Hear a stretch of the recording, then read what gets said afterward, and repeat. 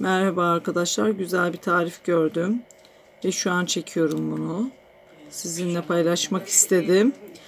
Şimdi gelelim limon kabuğu kürüne. Evet yazıyı görüyorsunuz. Doğal sızma zeytinyağı, 2 adet büyük organik limon, okaliptüs yaprakları ve kapaklı bir kavanozda sargı bezleri gerekli.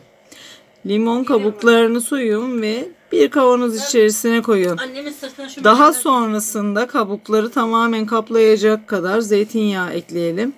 İçerisine okaliptüs yapraklarını da ekleyelim.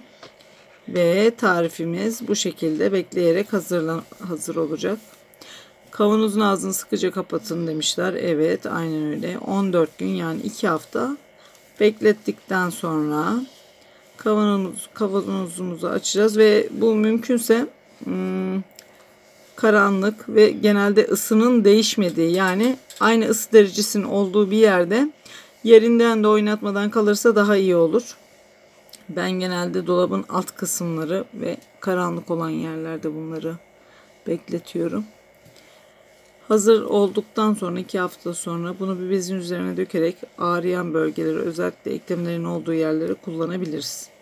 Ve hepimize geçmiş olsun diyorum.